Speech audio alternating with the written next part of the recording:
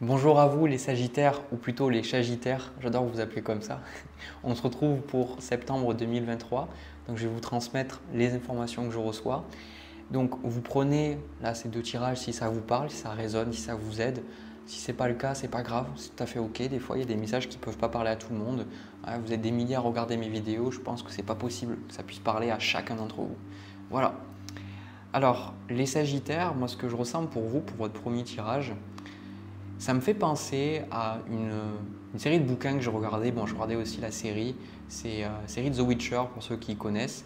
Et à un moment donné, bah, c'est un sort de, on va dire, c'est un peu fantasy, fantastique. Et le personnage, il se bat avec une épée, etc. Dans les, une époque un peu moyenâgeuse, surnaturelle aussi. Et à un moment donné, bah, il est blessé et il rentre dans un temple ou il rentre dans le village des, euh, des Dryades, enfin la forêt plutôt, et il se fait soigner. Et là, en gros, bah, c'est un peu ça que je ressens pour vous. J'ai un peu cette sensation que pendant le mois de septembre, vous avez un besoin de repos. Et quelque part, je sens que c'est comme si la vie, bah, vous en avez pris pas mal dans la tronche. Et là, pour vous, c'est un peu dur de digérer certaines choses. Et vous, avez, vous ressentez le besoin de, de guérir, vous ressentez le besoin de prendre du temps pour vous reposer. Mais j'ai la sensation aussi que la vie n'a pas forcément ses plans pour vous. Et je pense qu'on y reviendra, mais la vie a quelque chose de bien spécifique euh, en tête pour vous. Et je pense que vous allez le découvrir euh, pendant ce mois de septembre. Donc je vous montre vos cartes. c'est ce que je vous ai dit, donc ça c'est le 10 d'épée. Le 10 d'épée, c'est qu'il y a quelque chose qui ne s'est pas forcément bien passé pour vous, vous êtes encore en train de digérer quelque chose. Le 10 d'épée, ça peut être quelque chose qui vous a profondément touché, une perte d'emploi, peut-être un changement au niveau, je ne sais pas, de votre, de votre apparence, ça peut être la perte d'un être cher, ça peut être peu importe, il y a quelque chose qui vous affecte profondément. Et vous, ce que vous voulez, j'ai eu le 9 de denier et j'ai pris une précision, j'ai eu le 7 d'épée. Et c'est vraiment ce que je ressentais de base, c'est que vous voulez qu'on vous foute la paix. Voilà. Le 9 de denier, c'est celui qui profite de sa vie. C'est celui qui profite de ses deniers, qui profite de son argent, qui profite de ses ressources. Donc euh, vous, ben, ce que vous recherchez le plus, c'est pouvoir rester chez vous, rester un petit peu plan-plan, euh, prendre du temps pour vous, pour vous reposer. Mais en fait, euh, là, moi, ce que je vois, votre challenge à vous pendant le mois de septembre, ben, c'est le valet d'épée avec la papesse. Alors, je pense que ces deux cartes sont extrêmement riches en sens parce que ces deux cartes, elles parlent d'information.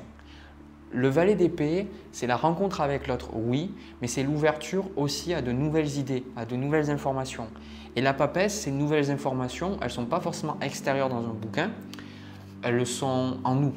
Alors on peut lire des textes sacrés par exemple, ou on peut lire certains bouquins spirituels et ça peut faire ressortir des choses qu'on a en nous, mais ces choses-là, elles sont en nous de base. Et donc, euh, moi, ce que je ressens pour vous, c'est que vous avez une difficulté, je pense, là on a le 8 d'épée avec le 10 de coupe, peut-être pour certains que vous êtes revenu chez vos parents aussi, c'est peut-être possible, mais c'est pas obligé. En tout cas, je sens que vous êtes un petit peu dans votre coquille. C'est bizarre parce que je m'attendrais à avoir le 4 de denier ou le 9 de bâton, mais ce n'est pas ce que j'ai. Je vois un petit peu, soit vous avez du mal, je ne pense pas que c'est que vous n'arrivez pas, vous n'êtes pas euh, euh, social, je ne pense pas que ce soit forcément ça. Je pense que c'est que vous n'arrivez pas à dire certaines choses. Je pense que pour ceux qui regardent ce tirage, vous avez une très grande, euh, vous avez une immensité intérieur et je sens que vous n'arrivez peut-être pas à mettre des mots sur ce que vous ressentez. Vous avez peut-être des choses difficiles qui se sont passées et vous n'arrivez pas à exprimer sous forme de mots ce que vous ressentez, même juste pas que pour avec les autres, juste par rapport à vous-même. Vous avez du mal en fait à trouver les mots. Donc j'ai la sensation que peut-être ça serait bien pour vous peut-être de lire ou peut-être euh, de que ce soit la fiction ou non-fiction pour peut-être trouver du vocabulaire ou trouver des personnages qui pourraient peut-être vous correspondre et qui vous permettent de mieux comprendre comment vous vous ressentez parce qu'avec ce 8 d'épée, j'ai la sensation que vous êtes parti au combat, vous êtes blessé, mais vous vous en voulez de quelque chose et je pense que la vie veut vous amener à reprendre du poil de la bête, pour pouvoir repartir plein d'aplomb, mais vous, vous n'êtes pas dans cette énergie-là. Donc j'ai la sensation que pour vous, c'est une forme de dualité pendant le mois de septembre parce que vous avez la sensation que vous devez vous reposer, mais vous voyez que la vie vous demande toujours de faire quelque chose. Vous allez vous dire, mais je ne comprends pas, j'ai besoin de me reposer et j'ai toujours quelqu'un qui vient me demander quelque chose. J'ai toujours mon père qui vient me demander un service ou des amis qui m'appellent, etc. Donc c'est bizarre, hein. vous voulez qu'on vous foute la paix, mais la vie ne vous fout pas la paix. Donc moi je pense que là par rapport à ça, ok vous souffrez, mais je pense que ce n'est pas le temps du repos pour vous. Je suis honnête. Je pense que ce n'est pas le temps du repos pour vous parce que vous n'avez pas la carte de l'étoile, vous n'avez pas la carte de la tempérance.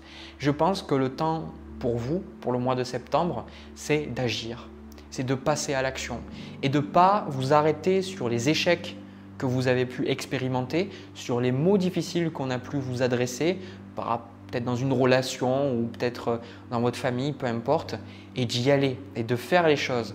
Parce qu'à mon avis, ce que je ressens, et c'est très juste, je le ressens dans mon corps quand je vous dis, c'est je sens que vous avez plein de capacités, vous avez plein de choses à donner. Et en fait, c'est un peu comme si vous, vous essayez de vous isoler pour essayer de résoudre un problème alors qu'on vous dit pas du tout. Euh, tu es déjà prêt, tu peux y arriver, tu peux le faire. Donc maintenant, passe à l'action, vas-y, ouvre-toi au monde, valet d'épée avec la carte de la papesse aussi. Partagez ce que vous avez. Même si ça peut être difficile de dire des choses, on a quand même en conseil le 8 de bâton. Et le 8 de bâton, c'est l'action à l'état pur. Ce n'est pas la réflexion, ce n'est pas le fait de méditer, ce n'est pas le fait de ruminer ou quoi que ce soit. Le 8 de bâton, c'est on y va, on fait et on verra après. Parce que vous, peut-être avec la papesse, c'est que vous, encore une fois, vous essayez de vous dire, ok, je vais aller méditer, je vais aller lire plein de bouquins. vous allez dire, mais Jérémy, tu viens, il y, a, genre deux minutes, tu viens de me dire de lire des bouquins et maintenant tu me dis de ne pas le faire. Oui, je vous disais de lire des bouquins parce que ça vous permettrait peut-être de mettre des mots, mais je pense que l'intention, c'est pas de lire des bouquins pour vous dire que vous avez besoin de guérir. Pour moi, euh, je pense que tout ça, c'est une forme de fuite parce que vous essayez, parce que vous ne vous sentez pas assez à la hauteur pour peut-être ce que la vie vous demande, et vous vous dites j'ai besoin de travailler sur moi, j'ai besoin de m'améliorer, euh, j'ai besoin de gérer un trauma ou quoi que ce soit, et là on vous dit mais non, mais pas du tout, quoi. pas du tout, pas le moins du monde. C'est pour ça que au niveau des énergies à venir, on a la reine de bâton, la reine de denier, le roi de coupe. Donc ça, ça symbolise quand même des énergies un peu stagnantes pour moi déjà en premier lieu, des énergies où vous allez rester peut-être un peu chez vous. Et puis, qu'est-ce qui va se passer après? On a la justice, le jugement et le valet de coupe. Du coup, la vie va pas vous laisser le temps de vous défiler. Vous voulez vous défiler avec le 7 d'épée. Vous voulez ne pas avoir à faire face à certaines émotions, à certaines situations, à certaines personnes. Mais là, la carte de la justice, c'est la carte du karma. Et le karma, quand on dit le karma, on dit que on s'imagine toujours quelque chose de négatif. On se dit, ouais, lui, il a pris le karma, c'est une expression. Mais le karma, c'est pas ça de base. Je pense que c'est quelque part une forme de vulgarisation qui a été mal faite. C'est que le karma, c'est simplement euh, cette notion que le monde est fait de causes et d'effets. Si on fait quelque chose, il va y avoir un effet. Si on fait tomber un verre, eh bien le verre, s'il est en verre, en jeu de mots, il va se casser. Si on décide euh, de fumer des cigarettes, il va y avoir des conséquences sur notre corps. Et le karma, c'est simplement d'accepter qu'il n'y a pas de hasard dans les choses et que même si on ne le voit pas, bah, il y a une raison à ce que les choses soient comme ça. Sauf que nous, chaque fois qu'on pense au karma, qu'on nous dit Ah, il y a un truc négatif qui m'arrive, on dit Je l'ai mérité. Parce qu'on est encore dans cette idée de dualité que le négatif, c'est gnognon, c'est pas bon, il le faut pas. Et le positif, ah ouais, c'est super. Du coup, on n'arrive pas à intégrer que le négatif peut être très positif pour nous et que parfois le positif, bah, je pense que vous avez déjà pu l'expérimenter, ce n'était pas forcément toujours positif. Combien d'entre nous, un truc qui est super positif, bah, on se retrouve avec plus d'emmerdes derrière? Donc, c'est d'accepter que la vie, c'est cause à effet, il n'y a pas de jugement à avoir et que là, la vie vous demande de faire face à certaines choses. Donc, avec la carte du jugement, je ne sais pas ce que c'est, d'accord? Je vais essayer de vous donner des exemples. Peut-être que vous allez avoir une opportunité de boulot. Peut-être que vous allez avoir une opportunité pour parler à quelqu'un. Peut-être que vous allez être obligé de parler à un membre de votre famille que vous ne vouliez à tout prix pas revoir dans votre vie, vous ne vouliez pas y parler à cette personne, que vous allez être obligé d'y reparler. Quoi que ce soit, je sens que là, en fait, c'est bon pour vous parce que ça va vous aider justement à sortir d'une forme d'inaction et que ça va vous permettre de libérer des énergies. Et on vous dit d'agir avant tout.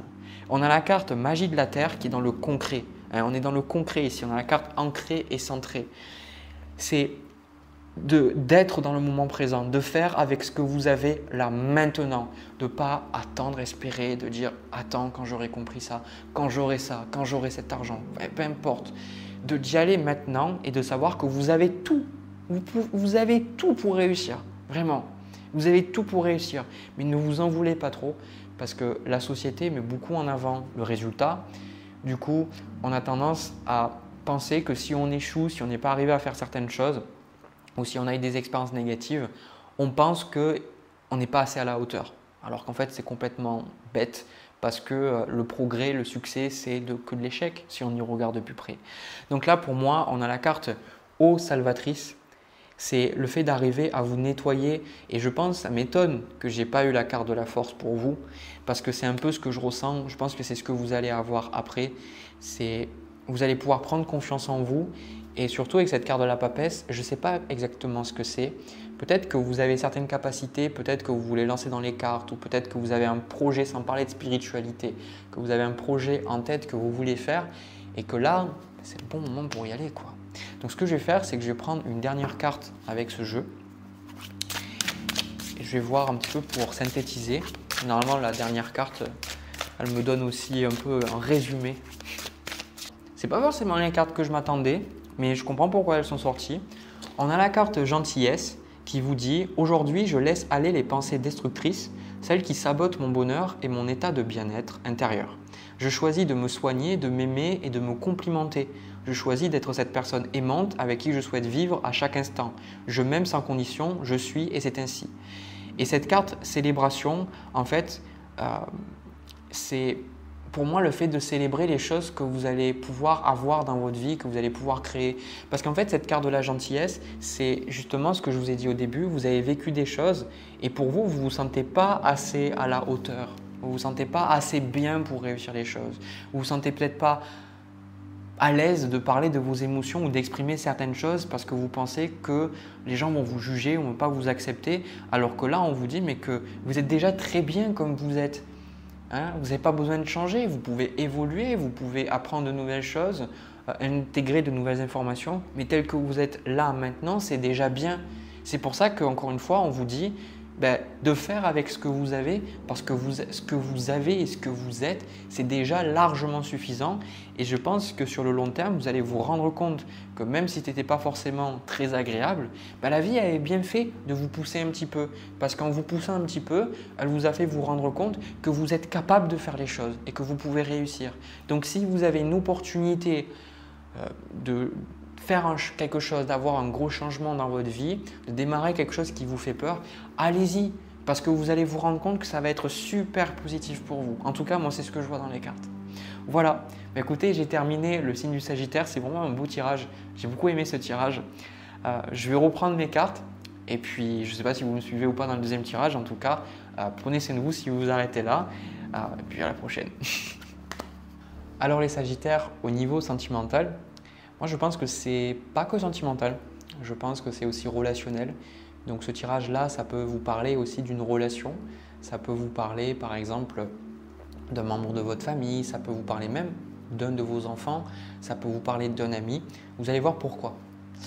Déjà, moi, ce que je ressens, c'est que la personne en face de vous, vous l'aimez énormément. Voilà, cette personne, c'est quelqu'un que vous appréciez beaucoup, beaucoup. C'est une personne qui a de la valeur pour vous. C'est une personne que vous ne voulez pas laisser partir. C'est une personne qui voulez la garder dans votre vie. Ça, c'est très important pour vous. Et je ressens que cette personne-là, elle se sent un peu étouffée dans la relation. Alors, comme je vous dis, peut-être que cette personne-là, euh, vous êtes en couple ou pas aussi. Ça dépend du type de relation que vous avez. Mais je sens qu'il y a un besoin de distance dans cette relation. Donc, je vais vous montrer, regardez vos cartes. Vous, c'est le chevalier de denier. Avec ce chevalier de denier, vous êtes vraiment investi dans la relation. Vous faites tout pour la personne. Je sens que vous faites des cadeaux, vous rendez des services à l'autre personne, vous voulez être là pour l'écouter. Il y a vraiment beaucoup, beaucoup de bienveillance de votre part. Et ça, vraiment, je pense que c'est très, très beau. D'accord? Je pense qu'il y a vraiment beaucoup de choses que vous voulez faire pour cette personne-là. Vous êtes prêt à tellement de choses pour cette personne. Mais en même temps, la personne en face, c'est pas vraiment si réciproque que ça. Alors peut-être que c'est temporaire ou pas, je ne sais pas, mais la personne, la carte qui lui correspond, c'est le 7 de bâton et la carte que elle, bah, ça correspond à ce qu'elle veut de votre relation, c'est le 8 de coupe. Donc en fait, la personne, elle met littéralement une barrière. Le 7 de bâton, c'est celui qui met la barrière, qui dit j'en peux plus, fous-moi la paix, laisse-moi tranquille, arrête de me parler, arrête de me dire comment je dois faire les choses, arrête de t'occuper de moi. Et pour vous, je pense que c'est très compliqué parce qu'avec ce valet d'épée, vous avez envie de discuter avec l'autre personne. Vous avez envie de tirer au clair les choses. Euh, vous avez envie de pouvoir partager des choses avec cette personne. Mais d'une manière ou d'une autre, il y a une forme de distance. J'ai la sensation que pour certains, cette distance peut être plus ou moins prononcée. Ça peut être le fait que des fois, vous vous voyez, mais peut-être que vous ne vous parlez pas beaucoup. Ou alors, il y a un certain froid entre vous, malgré vous, vos tentatives. Ou alors ça peut indiquer, des fois même plus loin, un silence radio, que la personne ne ben, veut tout simplement pas vous parler, elle refuse de répondre à vos messages, à vos appels.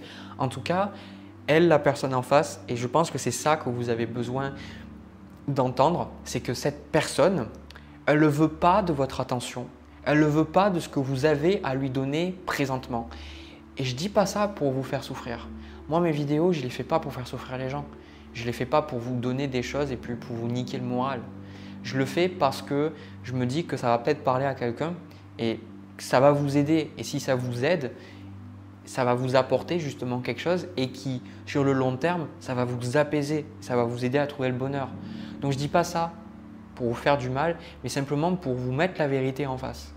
La vérité, c'est que la personne, elle veut plus forcément partager la même relation et vous, vous devez l'accepter et je pense que vous n'arrivez pas à l'accepter parce que ce qui est challengeant dans la relation aujourd'hui, c'est le valet de coupe. Et on a la carte avec libérer sa colère, là. Et je pense que la personne, en fait, ce qui est compliqué, c'est que peut-être que soit elle vous, elle vous envoie beaucoup, d'émotions, vous exprime beaucoup d'émotions, peut-être beaucoup de mots durs, d'accord? On le voit avec le 5 de denier et le 5 d'épée, je vous le montrerai plus tard. Euh, ou alors cette personne, il peut y avoir un mutisme, comme je vous ai dit. Cette personne, ne, vous savez qu'elle a quelque chose contre vous, mais elle ne vous le dit pas. Et vous, c'est frustrant parce que vous voudriez partager ça avec la personne. Et pour certains, c'est vraiment quelqu'un que vous aimez romantiquement. Donc cette personne, vous voudriez pouvoir lui parler pour pouvoir mettre les choses au clair, mais vous n'arrivez pas à accepter que la personne, c'est juste que, ben, je ne sais pas, après je ne peux pas tout vous dire, mais je ressens qu'elle ne veut juste pas. Elle ne veut pas la même relation que vous. C'est pour ça qu'au niveau du conseil, on a la carte du diable. Et le diable aussi, encore une fois, c'est pas pour être méchant, c'est simplement la réalité. Le diable, ça correspond à l'attachement. Ici, cette relation, vous, vous êtes dans une logique qui est pas de l'amour en fait. Vous êtes dans l'attachement. Alors vous allez vous dire ouais, mais non, mais c'est pas vrai, j'aime cette personne et tout. En fait, je pense que vous n'arrivez pas à distinguer la limite entre l'amour et puis le contrôle, et puis la peur aussi. Parce que l'attachement, c'est basé sur de la peur. L'attachement, c'est basé sur la peur de ne pas être à la hauteur, la peur d'être abandonné, la peur d'être rejeté. Donc l'attachement, c'est souvent fait, même dans des relations où on n'est pas forcément épanoui. Peut-être que vous connaissez des personnes qui sont dans des relations, ils ne sont pas heureux, mais euh, elles continuent d'avoir ces relations parce qu'elles ne veulent pas se sentir abandonnées. Elle préfère rester avec quelqu'un qui les maltraite plutôt que de partir et quelque part d'abandonner l'autre ou elle de se sentir abandonnée ou même rejetée. Donc euh, ici, l'amour, l'amour, l'amour véritable pour moi, c'est un amour qui est libre. Pour moi, la plus belle forme d'amour qu'on puisse donner à quelqu'un, c'est la liberté. Alors, pour moi, je n'ai pas vraiment d'avis, par exemple, sur toutes les relations comme le polyamour, où justement on met en avant tout ce qui est la liberté de la relation. Moi, je, personnellement, je pense que ça peut être très, très dangereux, mais je n'ai pas envie d'entrer dans le sujet parce que je pense qu'au niveau des relations qui sont saines, c'est des relations qui nous apportent, qui nous comblent nos besoins. Et des vraies relations épanouissantes, c'est des relations où on s'aime et on ne force pas, on n'est pas quelqu'un d'autre, où on n'a pas toujours peur de ne pas être assez bien pour l'autre. On sait qu'on est bien pour l'autre et l'autre nous aime tel qu'on est. Ça ne veut pas dire qu'on ne peut pas évoluer, ça ne veut pas dire que on ne peut pas se remettre en question. Ça veut simplement dire que par amour, on s'accepte, on accepte aussi l'autre. Et la relation est un endroit de sécurité où on peut exprimer les vulnérabilités, les problèmes, les tensions et trouver des solutions. Mais qu'est-ce que vous faites quand vous avez tellement peur que cet espace de sécurité, vous ne l'avez pas? Et je pense que c'est quelque part ce que vous avez là. Cet espace, vous ne pouvez pas l'avoir avec cette personne. Parce que d'un côté, je pense que la personne en face, il y a certaines choses en elle qui sont quand même assez fortes. Là, je vois une forme de colère, une forme de haine. Peut-être il y a des choses, elle vous en veut, cette personne. C'est pour ça que je vous dis que c'est peut-être votre, votre enfant ou peut-être quelqu'un de votre famille ou un ami. Euh, ou alors, tout simplement, c'est une personne qui n'arrive pas à gérer ses propres émotions. Et vous, de votre côté, ben, si vous n'étiez si pas dans la peur de perdre cette personne-là, il n'y aurait pas eu autant de désaccords dans la relation, je pense. Parce qu'à mon avis, vous voulez tellement faire bien, vous voulez tellement montrer à l'autre personne que vous l'aimez, qu'en fait, vous vous attachez à l'autre personne. Ce n'est pas vraiment de l'amour que vous voulez donner. En fait, vous donnez ces choses parce que vous voulez à tout prix que l'autre personne soit toujours là pour vous rassurer et vous dire que vous êtes une bonne personne et que euh, vous n'êtes pas digne qu'on vous abandonne ou qu'on vous rejette. Vous voyez la différence? Donc c'est pour ça qu'on a la carte renoncer aux ténèbres et domination qui vous dit croire en soi. Cette relation-là et comment les choses se passent, c'est toujours pour votre bien. Rarement, on le voit rarement, d'accord? On le voit rarement sur l'instant T que les choses sont bonnes pour nous. Et surtout que ça dépend aussi de nous. Il y a des choses qui arrivent qui sont difficiles pour tout le monde, mais ça dépend d'un individu à l'autre d'accepter ou pas les leçons. Il y a des gens qui les accepteront jamais et qui sauront toujours sentir que la vie était injuste avec eux. Et là, en fait, pour moi, je pense que vous avez besoin de laisser cette personne partir. Alors, comme je vous ai dit, peut-être pas de manière euh, permanente, mais peut-être de manière temporaire. Parce que, à mon avis, vous avez besoin d'espace entre vous et cette personne pour vous tirer un peu plus au clair vos émotions, la personne aussi. Et de toute façon, c'est ce que je vois qui va arriver. Je vais être honnête avec vous. Parce qu'on a le 3 de coupe, le 5 de denier, l'as de bâton, avec le 6 de denier. Et en fait, moi, c'est toutes les cartes qu'il faudrait que je vous montre et je vais toutes vous les montrer. Pour moi, ce que je ressens, c'est que cette personne-là, elle va faire un peu sa vie de son côté elle va faire sa vie de son côté et vous, vous allez faire des choses, vous allez essayer de combler, de l'appeler, d'envoyer des cadeaux, je ne sais pas. Mais ça va pas être réciproque. Vous n'allez pas avoir de feedback. D'accord? Et c'est pour ça que l'autre personne, ben, à un moment donné, elle, elle va être libre de son côté, mais vous, ça va vous rendre triste. D'accord? Ça va vous rendre triste parce que la personne n'est plus là, la personne ne vous parle pas et vous dites pourquoi? Pourquoi bon sang? On s'aime, pourquoi? Et je vais vous dire quelque chose, essayez de regarder un peu plus avec de l'objectivité. Pourquoi est-ce que cette relation-là, vous, vous êtes... Et c'est pas que vous. Hein, beaucoup de personnes que j'ai en consultation, et même moi, ça m'est arrivé dans ma propre vie, ça m'arrive encore parfois, donc dédramatiser, c'est normal. Pourquoi est-ce que dans cette dynamique-là, vous, vous donnez tout, mais vous recevez rien? Et pourquoi est-ce que vous vous attachez si vous recevez rien? Alors pour certains, vous allez dire bah oui, mais c'est mon fils ou c'est ma fille, donc il faut que je continue à faire quelque chose. J'ai eu des personnes comme ça en consultation, que ça les rend malheureux. C'est très difficile de ne pas avoir de contact avec son enfant. Pour des raisons diverses. Pour certains, c'est parce qu'ils sont divorcés et la personne, euh, leur ex-partenaire, leur ex-mari ou leur ex-femme, ont monté la tête contre eux euh, parfois, c'est simplement la distance, parfois, c'est sur des malentendus, peu importe. Mais pourquoi? Pourquoi en fait? Pourquoi est-ce que ça se passe comme ça? Qu'est-ce qui se passe? Pourquoi est-ce que vous, vous, vivez ça? Il n'y a pas de hasard.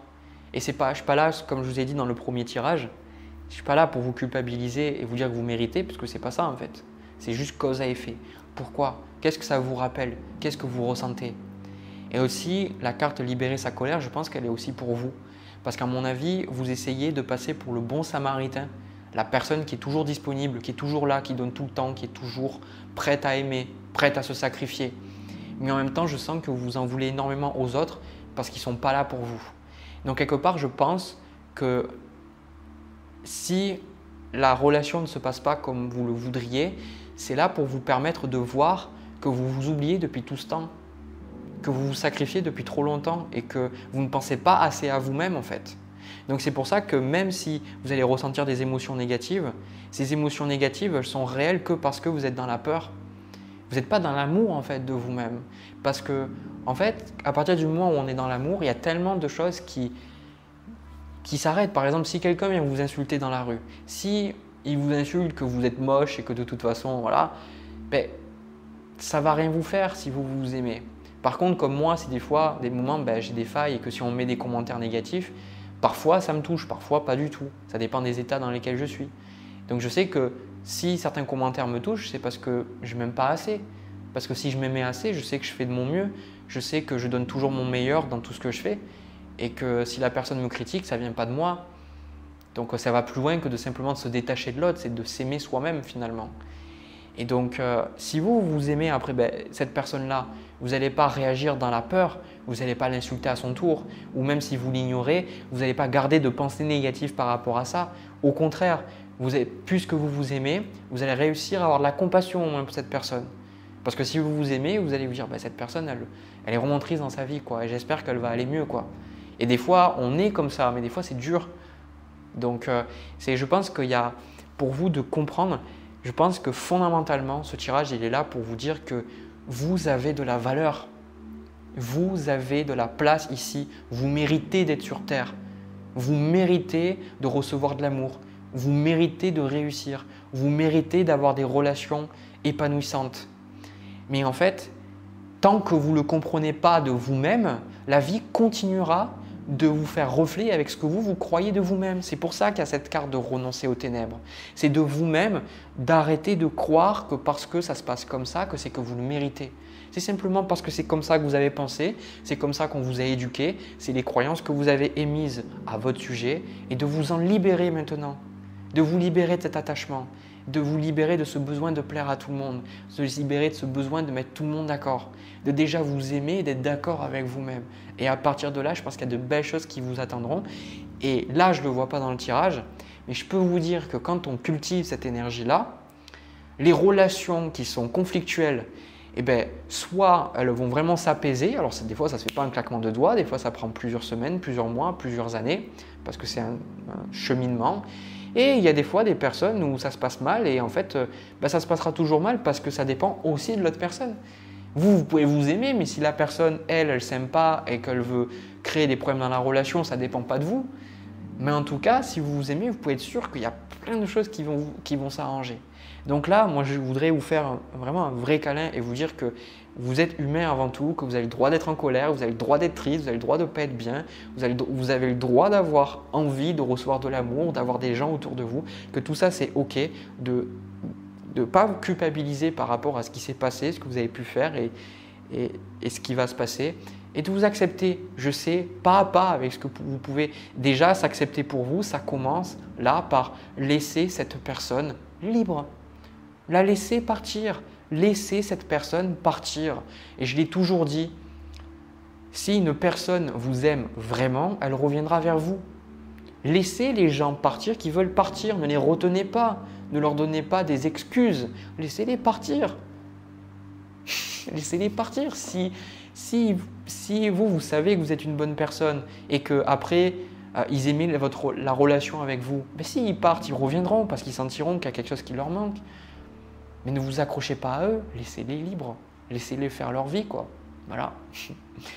voilà, bah écoutez, c'est ce que j'ai pour vous.